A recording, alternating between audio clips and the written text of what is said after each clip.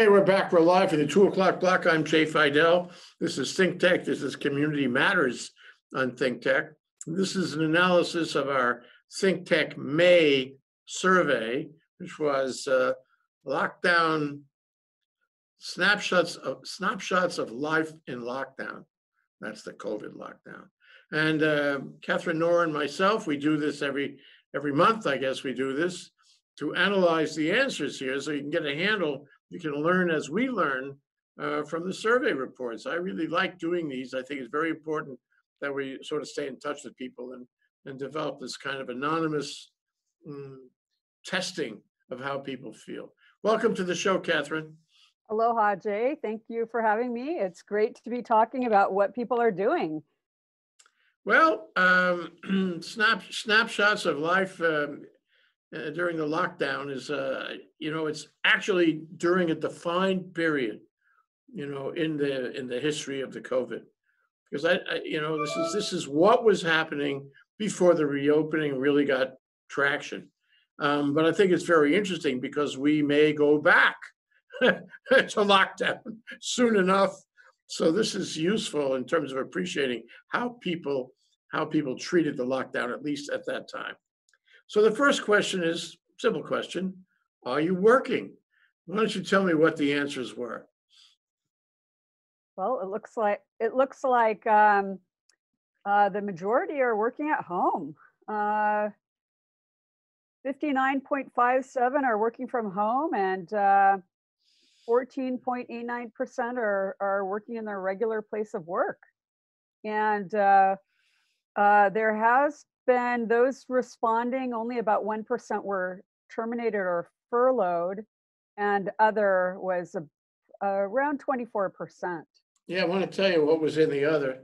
Uh, these are the comments that was in the other, uh, that, that were in the other. One is a fellow said that he was retired, stopped working three years ago. Another says he retired in December.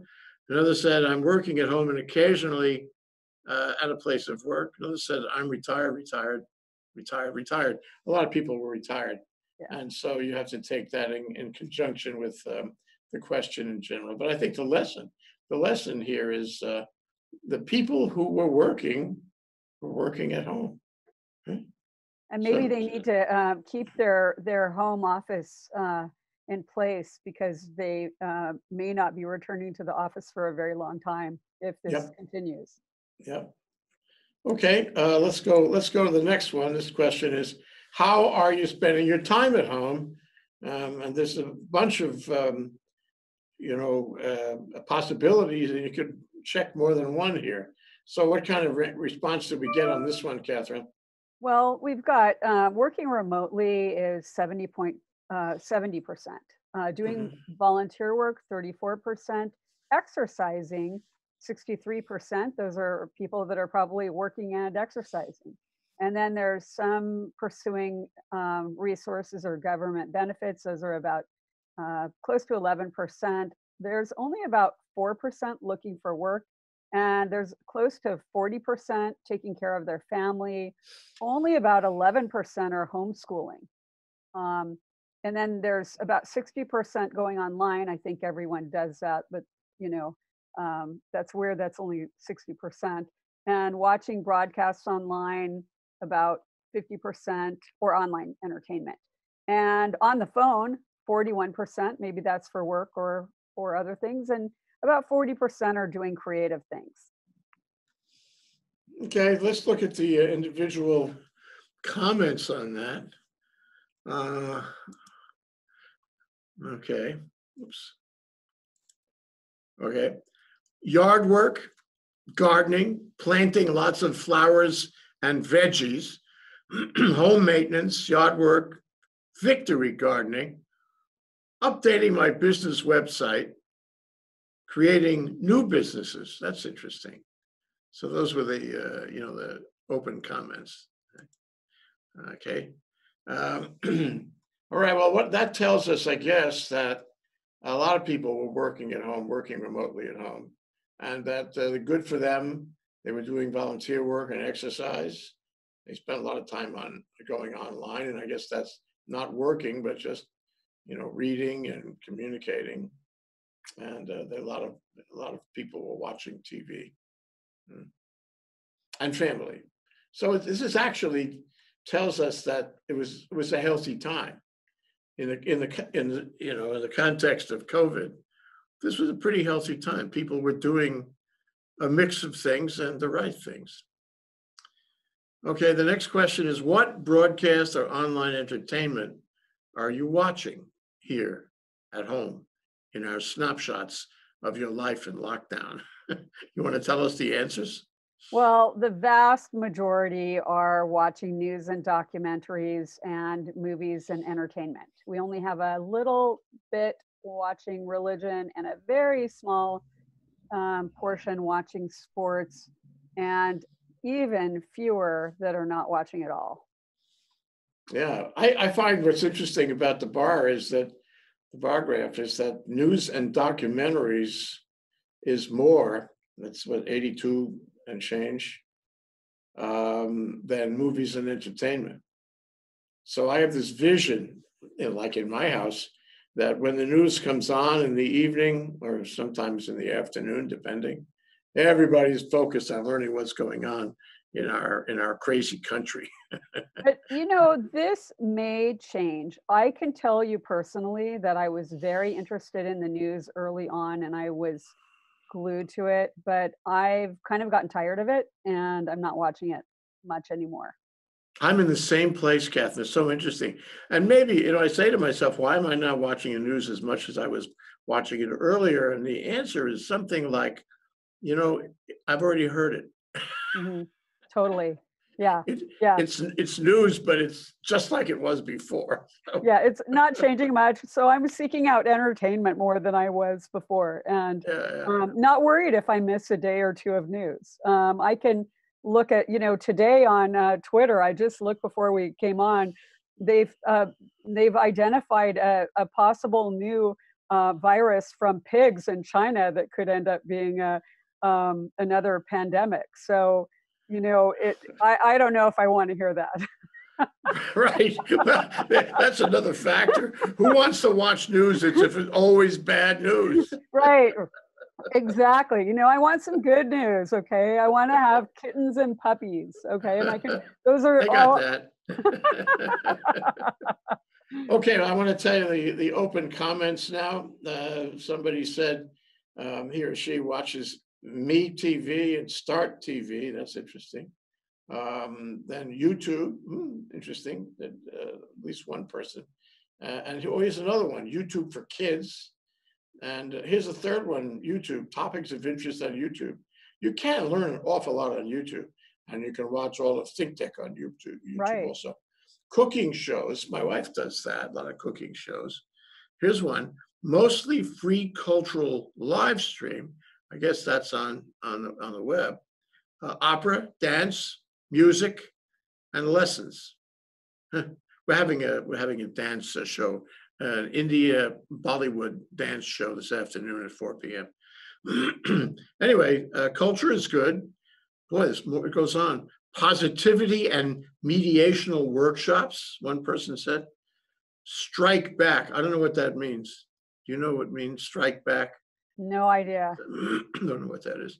Uh, how-to videos, and indeed, uh, we know that um, uh, we know from Google and YouTube that how-to videos are the most popular videos on on uh, YouTube. Ah, here's one guy said Think Tech Hawaii. Good for him. All right. Uh, here's another one that said Stephen Colbert podcasts. Here's another one that said Think Tech Away. Wow, that's happy. we got a lot of stuff on there, and it's uh, it's all useful, and some of it is really cutting edge too. Okay, so what do we learn here? We learned that movies and entertainment and news and documentaries are the way people watch. Not so much religion. That's interesting. It, it- maybe it's a it's a sample of the viewing audience anyway. You know. right. okay, what are you? This is question four. What are you doing um, online? And here again, people could select all that apply. Can you give us the answers? Okay, well, obviously, as you see here, vast majority are email and video conferencing. I'm I believe many people learned all about Zoom during this period of time. Uh, email was 95% approximately, and video conferencing about 85%. Social media about 53%, working remotely 68%, applying for benefits about 9%, and shopping about 45%, newspapers and newsletters about 80, 48%, and um, education about 38%, magazines and books 19%, and games 17%. Research. That is so interesting, research. It's, it's a, it's a- an open category, but you can research anything. Maybe that's the same thing as, uh, no, it's not the same thing as shopping. It's, it's like, uh, it's, uh, what's the word? It's, it's just, it's um, surfing the net. It's what it is, Sure. research. Uh, Or maybe asking questions about COVID. Oh, You- actually, that's probably it. Yeah, Yeah, I'm sure that people are, uh, they're checking on things. Like the other day, I researched the, um, where all the cases were in the world and the percentage ver, you know, of cases versus population and all of that. And I'm sure others are doing similar things so that they can make decisions on their own rather than relying on, uh, news sources.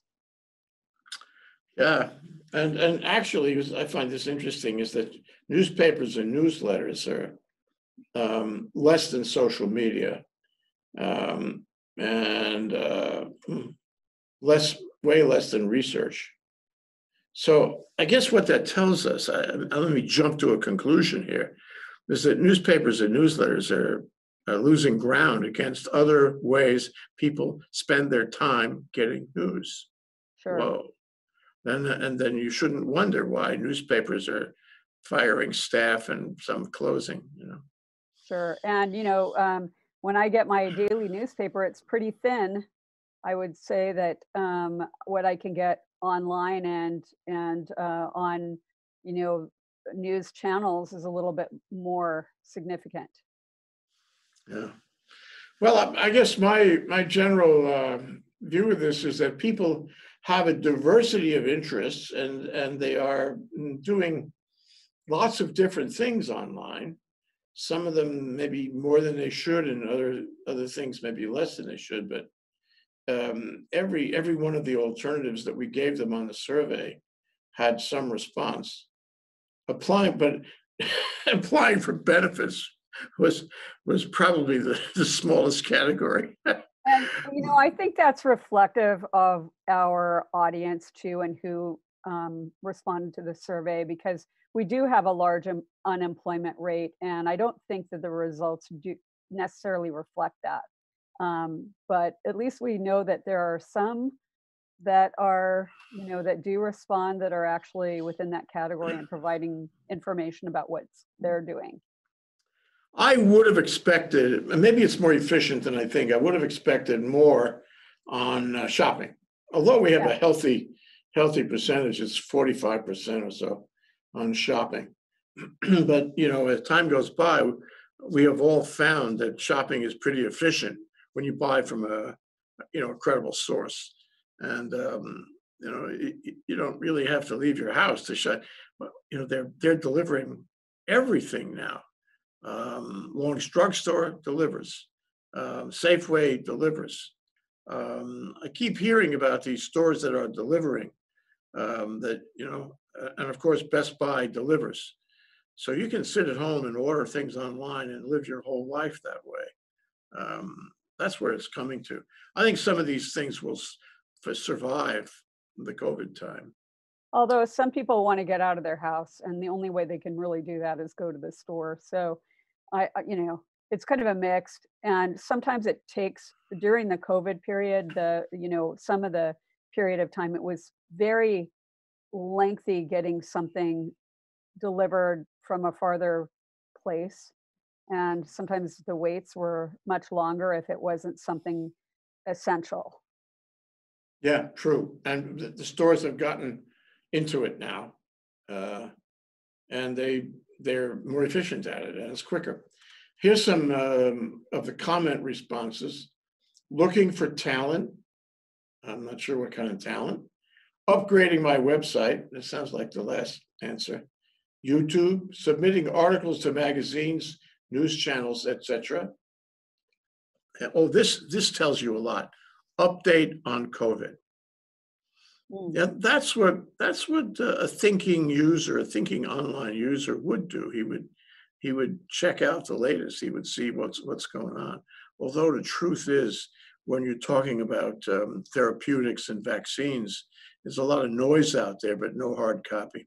Right. Um, And, oh, this is interesting. And one person, he checks out the US Department of Education and the Hawaii DOE. I- don't fully understand that, but that's, that's what he was, or she was uh, spending time at. Okay, good. Varied interest. Okay, our next question. Uh, Who are, who are you video conferencing with? So what are the answers on that, Katharine? The vast majority are friends, family, and coworkers. Um, friends and coworkers are at about 59% equal. Uh, family about 48%, and healthcare professionals about 15%. And then tech support professionals, which sort of cracks me up, is about 9%. And then um, what was interesting about that is zero said no one. I don't like uh, to video conference. So uh, that tells you something. And then uh, another, ano- the other one is no one, I don't have the equipment to video conference. That was about 3%. Yet they were able, they were able to respond to the survey. And then other is a very large amount, and that's 38%. Yeah, yeah. I'm looking at the no one, I don't like the video conference. Actually, that was zero. Zero point zero zero. You see it? Yeah. Okay, now individual responses, some, you know, comment type responses. Well, there's a lot of them. My needlepoint guild members, this person is into needlepoint. Conducting a workshop. Um, business, business, whatever that means. Uh, students, I teach college, okay? Rotary Club, uh, and BNI chapter. Mm. Uh, I don't know what BNI is. You know BNI, BNI um, I actually attended a BNI meeting as a guest. It's a kind of a referral network type of thing, and it's kind of an, they do a pretty slick um, Zoom conference. Mhm. Then there's one community organizations, there's one My Hawaii, Hawaiian language class. And then there's one industry associations and groups. So that really tells us a lot. Uh, it tells us there's an awful lot of video conferencing going on with an awful lot of people. It's actually, uh, although it looks like coworkers and and friends are about the same. They're, they're within a, a very small tolerance of each other, and family, of course. Um, but there's a lot of other going on, and that's uh, that's interesting. I think people are getting into the habit of using Zoom where they might be using a phone before, don't you? Mhm. Sure, and I do Zumba on Zoom and exercise on Zoom. So um, that's a big part of what I do on Zoom. Yeah, my wife does hula lessons. I'm not kidding on Zoom with a Oh, class. That's great. in Akumu and and um, and um, she does ukulele lessons too. Sure. Okay, how are you getting your food? Select all that apply. So what kind of answers did we get there? Um, the majority are going to food stores. Um, and then second to that was takeout. And 84% are going to food stores, 60% going to takeout restaurants. Um, 15.96% are getting food from family and friends. And then only about 14% are having groceries delivered, others about 12%. Um, and then um, 11% is shopping online and picking groceries up. 10% is getting deliveries from takeout restaurants, and zero are getting um, food from a food bank or charity. However, I'm thinking that the reason for that response is because those people are not answering the survey. yeah, they're not in the in the the covered crowd. That's what it is. Correct. Well, I guess uh, let me let me look at the individual comments here. Uh, one second. Uh, there are no individual. Wait, yes, there are. Yeah. Uh, other- okay, uh, here we go. Gardening. I mostly prepare meals with fresh and some frozen produce and meats. Costco. de- Depleting the emergency supplies in my pantry and freezer. Well, well prepared. Um, Farmers markets to support local farmers. Uh, uh, Supermarket and home cooking. Living with daughter, an excellent cook with three very young kids. Uh, going to food store with limited frequency. Pick and shovel in the garden. Informal bartering, bartering of cooked and baked foods with a neighbor. We have that. Uh, farm to car is one. And wife shops at food stores. Oh, sure. Yeah. Because some people, they're responding based on themselves and maybe someone else in their family is doing that, going to the Yeah. store or whatever. I really, I really like in my neighborhood, by the way, people come around. They actually come around. And uh, this is old style Hawaii style, yeah. And they, and they give you food. And it's, uh, it's not because, uh, you know, you actually have to have the food, but- but they just want to be aloha. And um, they are. I, I really love that about people in Hawaii. That's fantastic. And I'm just hoping someone will knock on my door with chocolate chip cookies. Make a note of that. Home baked, of course. Okay, here, this is an easy one. Uh, how, how well are you eating? Well, what are the answers on that one, Katharine? Okay, people are saying that they're eating right. That's the vast majority. And um, that's uh, um, 78%. Uh, only 19% are eating too much or claim they're eating too much. And 2% I'm not eating enough. And zero said I don't have enough to eat. And I think that we have a lot of respondents who are very, um, they, they perceive that they're eating right and don't think that they're eating too much. Right, it's self-interested, isn't it? There's a conflict going on. If, You know, you, if you, if you believe that you're eating right, then you'll say you're eating right, but you may not in fact be eating right. I'd really like to know what they're eating. I think they're having probably too many Oreos. Yeah, well, that, this, this actually reminds me of one of those delivery services was a, a neighbor of mine.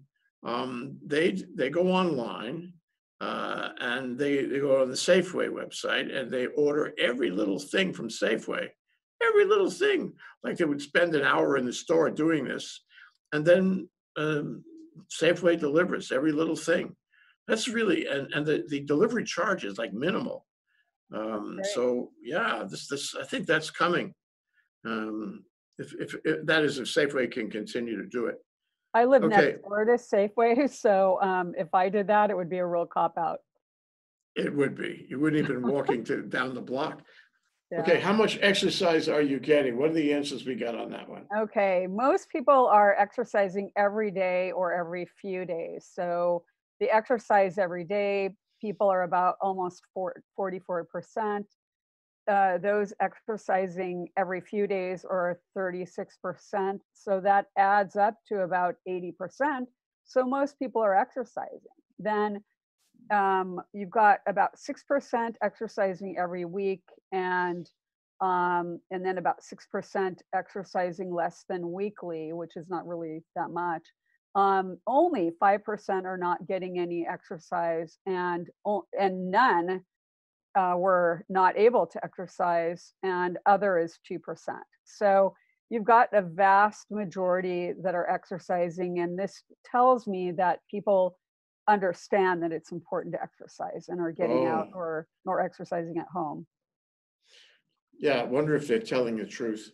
Um, you know what? I think a lot of them are walking because if you're stuck at home, um, what are you going to do? You're going to go out and take a walk, and maybe you really didn't do that that much before, but you got to get out of your house and you can safely go for a walk. So I think a large portion of that 80% are walking. Yeah, that's the magic thing, walking, because everybody can, wa- well, listen to everybody, but most people can walk and it's, Yeah. it's easy to do and it has such benefits for you, even Yeah. slowly. Yeah. And, and indeed, uh, the, um, the other comments, uh, the two of them, uh, one says, just walking, mm, right on point, And the other one says, got injured, so exercise only a little, um, as much as I can because of the industry, but only as can due to injury. All right. Well, it, I think we, I think we have some, some good numbers on this one. People are exercise. I think they all know that they have to as a Sure. matter of health. It doesn't cost anything. And so this is, this is good. We have a, what do you want to call it? A healthy minded community. Sure, and Uh, we're in Hawaii anyway. The weather is good and people want to get outside. You probably have people going to the beach and getting in the water too, you know. Um, but there's probably others that are actually lifting weights with weights they have at home, those kind of things, or or bicycling. All right, we have one called Are You Wearing Face Masks? Can you talk about the answers to that? Okay, on this one, um, just a sec- okay, um, the I wear a face mask only when I'm outdoors away from home. That's 34%. I wear a face mask when I'm indoors or outdoors away from home. 31%. I wear a face mask away from home only when I think I'm at risk. 19%. Other 12%. I don't think face masks are necessary, only 2%. I wear a face mask both at home and away from home, 1%. And I have a face mask, but I do not wear them, zero. I wear a face mask, but I don't know where, I, I would wear a face mask, but I don't know where to get them, zero. So Yeah, most people are wearing face masks. Um, and in Hawaii, we do have good compliance with that. okay, here are the comments. Um, I wear a mask when I go to stores. I wear a face mask when I go into stores or public areas with other people. Since the mask protects others from me, I stay home to reduce my risk. Hmm. Uh, good. Stores and outdoors, another one. And finally, I wear a face mask when shopping and when volunteering uh, at, at a church office. Good. I, I want Um, to know how many wear them properly and not wear them under their nose or under their chin. You know, that's a really good question. There are a lot of people who, who wear them as, as throat masks. right, right. Doesn't cover their nose or their mouth. Um, Sure. And really, really, they should use them properly. It's obvious that you want to cover your uh, mouth and nose both. Otherwise, you're not getting, nobody's getting the benefit, not you or the people around you for sure. Okay, we're getting closer to the end now. Next question, have you been ill? Very interesting, uh, because if, you know, if you're, if you're holed up in a lockdown, uh, theoretically, mm, hopefully, you shouldn't be ill too much because you're not trafficking with any antigens. So what were the answers on this one? The vast majority, no, they haven't been ill, 91%. Um, there is uh, 5% who have had an illness other than COVID. Um, um, I've been hospitalized with an illness other than co- coronavirus, zero. I've been ill with coronavirus, zero. I've been hospitalized with coronavirus, zero. I've been ill, but I don't know if it's coronavirus, 1%. I've been hospitalized, but I don't know if it was coronavirus, zero. Other, 2%. Okay, and other is, um, you know, there's two responses here uh, worth mentioning. One is I did go to the emergency room in February with breathing issue and congestion. We don't know if that was COVID, but I doubt it because if, if it had been COVID, that person would have said so. This is an anonymous survey. Um, and the other one said uh, he was, uh, she was sick with flu-like symptoms in January, in January. Again, no reference to whether it was COVID. I doubt it was. Okay, next one. Has someone in your household been ill? Same question, but now we're asking about anyone else in the household. What are the answers to that one, Katharine? The vast majority, um, no, no one has been ill in their household. That's 89%. Uh, only 5% said someone in the household has had an illness other than coronavirus. And then 1%, someone in the household had been hospitalized with an illness other than coronavirus. 1% said that someone in their household had been ill with coronavirus. and some, and then zero for someone in my household has been hospitalized with coronavirus, zero for someone in my household has been ill, but I don't know if it was coronavirus. Um, and uh, um, three was three percent was other. So we've got uh, mostly no one had been ill. Okay, so now we have one of those uh, comments. Uh, He or she says, uh, so I mentioned, this- is probably the person who answered the, the previous question with a comment. So I mentioned I was ill in February for five weeks, but no one else in my household has been sick. That's one. Uh, I am the only one in my household. Okay, well, then that question doesn't really apply. And the last one is I, I live alone, same thing. Okay, let's go um, a little further here. Question 12, have you been tested for coronavirus? What are the answers on that one, Katharine? Um, okay, the vast majority um, was I have no symptoms and have not been tested. That was 86%.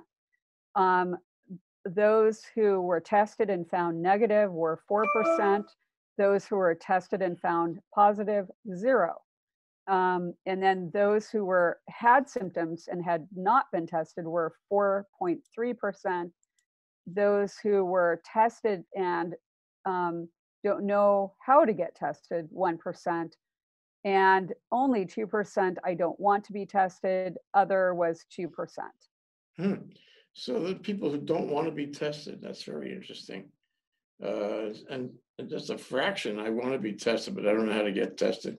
It's, you know, you don't know this uh, the moment you're born. It's not in- intuitive. You actually have to do some research and make some calls and call health providers. That's how you find out.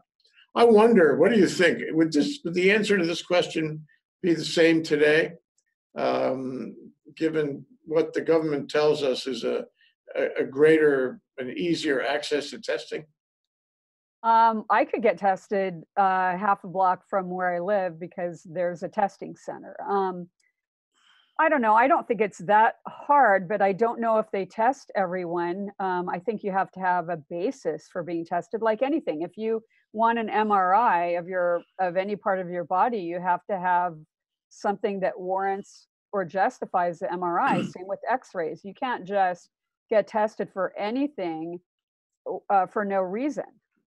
It's, Yeah, it costs money, costs money Well, and, uh, it's- it's also not appropriately it's not reasonably medically uh, appropriate i mean there's there's standards in medicine and it doesn't fit the standard if you don't have the symptoms that may not be the case everywhere. I think there are many places in the world where if you, if you're anxious, you can go get tested. sure Um, Okay, the, the comments, I have been, I have been tested for antibodies and I'm awaiting results. That's, that's very avant-garde. Mm, Ano- Another one is I have not been tested, um, but would like to. Yeah, That's interesting. Uh, that person ought to, ought to find out more about it. Um, there was a piece on television the other day about the antibody test. It was, this is on sixty minutes, just yesterday. Uh, there was a, you know, there are a lot of scams in the antibody testing. Everybody wants them.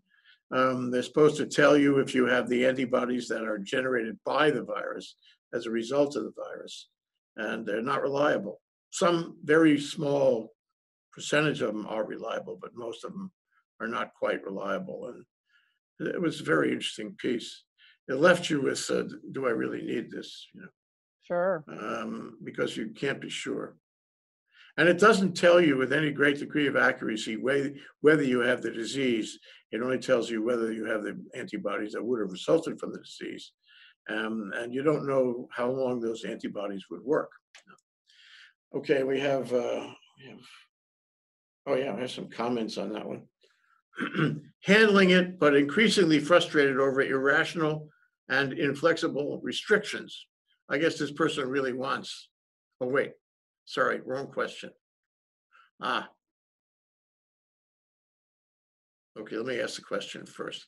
The question we're dealing with is, how is your state of mind? Can you give, can you give us the answers on that, Katharine? 56% are feeling fine 20 about 29% say i'm handling it only 12% say i'm troubled but i'm still okay zero said that I think I need to talk to a professional, and only 2% said other. So most people are either feeling fine or handling it. And other, one said handling it, but increasingly frustrated over irrational and inflexible restrictions. I guess he's talking about government or maybe business restrictions. And another one said, this is interesting, being very candid with us. He said, I've been depressed and frustrated, not able to see family on mainland. Uh, and and um, I can't read the word, and old friends, depressed. Um, so that, that makes sense. I Sure. sympathize with that. Yeah.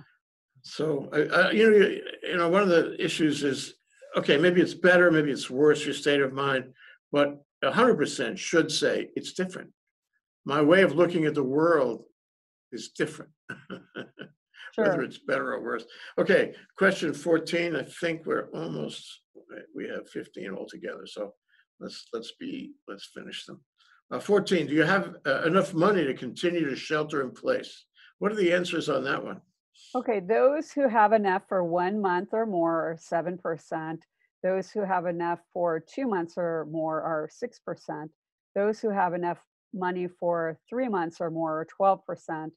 Um, those who have enough for more than three months are fifty-four percent. Um, those who ran out of money when they lost their job were zero. And those who haven't had money for some time are zero. Other is about nineteen percent. I think the vast majority um, are people that are working and can continue to get money. And so this doesn't reflect more savings, but the fact that they um, they're working and and they can continue to um, live off of what their income is. Mhm. Okay, here are the comments.